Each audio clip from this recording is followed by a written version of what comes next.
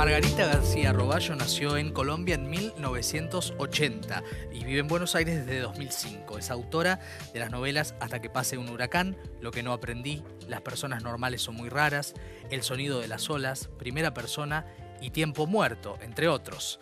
Su obra ha sido traducida a varios idiomas. Acaba de publicar La encomienda. Y esta es una frase, un fragmento de La encomienda, el libro que acaba de dar a conocer Anagrama. Dice, a mi hermana le gusta mandarme encomiendas. Es ridículo porque vivimos lejos y la mayoría de las cosas se estropean en el camino. Lejos es una palabra demasiado corta cuando se traduce a la geografía. 5.300 kilómetros es la distancia que me separa de mi familia. Mi familia es ella y mi madre, pero yo no tengo ninguna relación con mi madre. Me parece que mi hermana tampoco. Hace años que casi no me habla de ella, aunque supongo que se sigue ocupando de sus cosas. A veces me da curiosidad saber qué fue de la casa en la que vivimos de niñas, pero no pregunto porque la respuesta puede venir con información que prefiero no tener. La encomienda Margarita García Roballo. Bienvenida. Gracias. Gracias a vos. Bueno, una novela que eh, continúa con varios temas de tu obra que tiene que ver con la familia, ¿no? Eh, y lo simbólico, ¿no? En la novela está muy presente desde el título y desde lo que es esa encomienda. Eh, la familia como tema, ¿no? hablábamos antes con Rosa Montero que los temas que obsesionan a los artistas son temas que siempre se van avanzando un poco más y en este caso sucede, ¿no? Sí, bueno, la, familia, los vínculos. Yo diría que la gran pregunta de fondo siempre es por el origen, ¿no? De dónde venimos, exacto.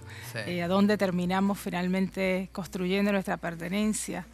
y, creo que en esta novela esa pregunta es como que está un poquito más profundizada y, bueno, y entra toda una parte, como, como bien decías, como simbólica que es esta gran caja que recibe la narradora y que, bueno, de la que se tiene que hacer cargo, ¿no? Finalmente.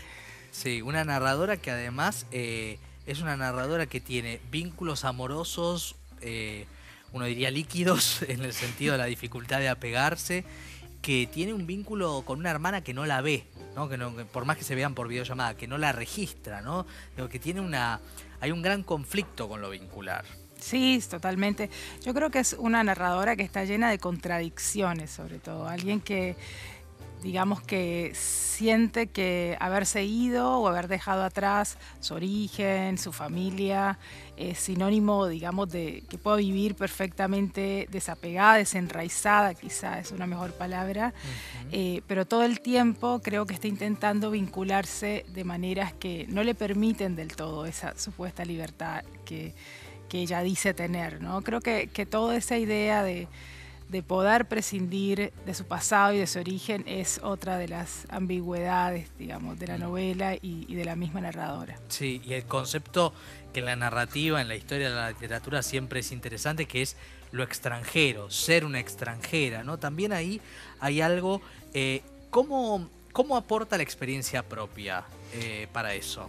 Bueno, en, este caso y en la verdad que en casi todos mis libros hay una fuerte Em, un fundamento importante de la experiencia. A mí me gusta usar la experiencia propia o de entornos más o menos familiares, cercanos, para hacer literatura, lo que no quiere decir que sea un calco de la vida de nadie, pero que sí que me, gusta que esa materia, digamos, de la experiencia se convierta en materia narrativa, que después uno trabaje eso en ficciones y los convierte en otra cosa. Pero sin duda, por ejemplo, los temas que están latiendo en esta novela y quizá en algunos otros libros me vinculan muy, digamos, como de, manera muy exactamente, me implican eh, y me interpelan y todo. Y uno de esos es sin duda la extranjería. Yo me fui a mi país hace muchos años y siempre tengo esta condición eh, de, que tiene cualquier migrante, digamos, que es haber perdido la facultad y la posibilidad de pertenecer a algún lugar, porque yo vuelvo a Colombia y ya no soy más de ahí, pero vivo acá y tampoco soy de acá, entonces digamos habitamos un país que es como medio un limbo y tenemos que ir como poco a poco construyéndonos esas pertenencias híbridas. A mí me interesa mucho eso como tema narrativo y bueno, en esta novela hay algo de eso también. Sí, esos, eh, diría un autor de ensayos, esos no lugares que pasan a ser, ¿no? Este, y ella también dice en un momento de la novela, me, daría lo mismo, me significaría lo mismo estar en cualquier parte mientras tengo un monoambiente con wifi, ¿no? Sí. un desapego tan grande. Este, y, también vuelvo al concepto del título de la novela, de esa encomienda que está, ¿no? Eh, de, son qué cosas nos llevamos, qué cosas nos llegan y con qué cosas también nos arraigamos, ¿no? Los objetos, todo esto que para todas las personas que viven fuera de sus casas, de sus países, quiero decir, este, son eh, puntos de tensión, ¿no? Sí, bueno, la encomienda es como un elemento muy simbólico y como muy significativo para cualquiera que se fue. Por ahí ahora ya entró más en desuso, pero la verdad es que yo recuerdo las primeras veces que me fui de mi casa, me llegaba la cajita con la encomienda, con productos, cosas que si bien en general son cosas inservibles, que nadie necesita ni nadie, digamos, está esperando que le lleguen, es como una manera de decirte que se te recuerda con cariño, digamos. Y, eso definitivamente es lo que constituye esa cosa como, como, como del, eso, del origen, de lo que se deja y de lo que uno siente que puede prescindir cuando se va. Pero yo creo, suelo decir que que eso es como una mochila invisible que uno se lleva a todos lados y que a veces te descuidas y no lo ves, pero llega un momento, como le pasa a esta narradora, por determinadas circunstancias, que se materializa algo a tu lado y entonces tienes que hacerte cargo de eso, de, de todas esas preguntas irresueltas, de todos esos traumas de infancia y cosas que creímos haber dejado atrás por el simple hecho de irnos, pero no. Claro. Son cosas que uno se lleva. Total, y hay, mucho en la novela, uno hasta podría exagerar quizás y decir, es una novela sobre lo no dicho, sobre lo no dicho con este, este, este personaje que conoce a través del trabajo, con el cual tiene un vínculo sexoafectivo pero conflictuado, con su hermana, con este personaje que es la madre, tan particular, tan fantasmagórico. ¿Es una novela sobre lo no dicho?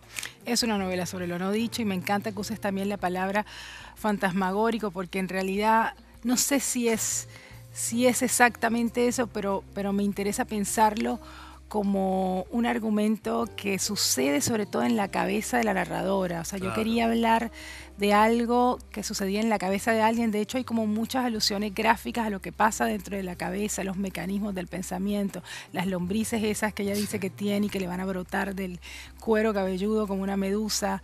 Eh, y esos son los fantasmas también, ¿no? Esas cosas que de repente uno ve y que no sabe si son producto de su pensamiento o si están ahí o si no. Y uno, y uno convive con eso permanentemente.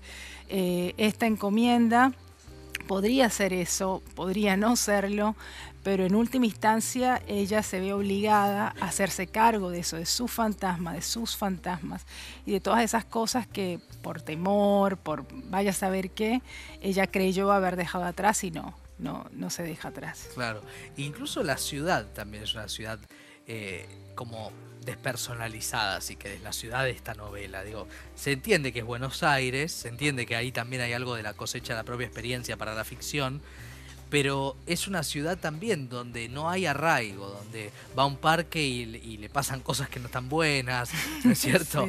Quiere cuidar a un niño que es de una vecina y tampoco le va bien, digo. Eh, es, es una novela quizás atravesada por, por la imposibilidad, que, muchos dicen es el signo de los tiempos, ¿no? No sé si están así, pero bueno, eh, es interesante pensarlo de todas maneras. Sí, es, eh, en realidad es, una, es su Buenos Aires en todo caso, ¿no? Es como es una ciudad atravesada por la mirada de alguien que digamos que tiene como esta sensación de extrañamiento permanente. A mí, digamos, parte de lo que me interesaba hacer en esta, en esta novela era como dar por sentado que en realidad lo fáctico, digamos, lo que creemos que ocurre afuera es lo menos importante. lo más importante es el mundo adentro, lo que le pasa a ella, lo que mira a ella y lo que esa mirada es capaz de, de generar. Una ciudad determinada, espacios determinados, ese entorno del edificio que probablemente otro lo miraría distinto y que para ella es, digamos, por momentos terrible, los vecinos con los que convive, la mirada del portero, son todas la cosas... La huida de, la madre, digamos, la búsqueda de la madre y, el escape de la figura de la madre. Y digo la figura eh, porque quienes lean la novela van a entender porque uso la figura de la madre, ¿no? Este, que siempre es un personaje, ¿no? En la vida de cualquiera, pero en esta para esta, para esta protagonista, digamos, eh, eh, también hay una caja de Pandora para seguir con la idea, ¿no? Ah, claro, sí, sí. Estamos dando muchas pistas ahí. Hasta ahí, hasta ahí, hasta ahí, no, no, para nada, al contrario, me, me, gusta la idea de la caja de Pandora, una caja, una encomienda que te llega con una sorpresita. Em, sí, eh, también, claro, hay como toda una reflexión acerca a ver, la maternidad o la madre, pero como, insisto, como, como símbolo del origen. Claro. Para mí, el origen es la madre, o sea, no tengo la menor duda, porque siento que la figura de la madre, más allá de lo dolorosa que pueda ser o lo traumática que pueda ser para cualquiera, es eso que está y que es inamovible y que no se puede, uno no se puede amputar su origen, uno no se puede amputar a la madre, eso es así.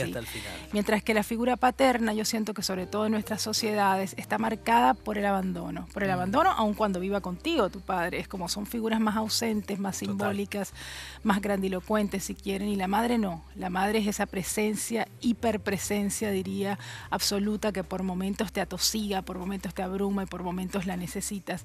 Y para mí eso es lo más parecido a una idea de origen que en lo que puedo pensar. Total.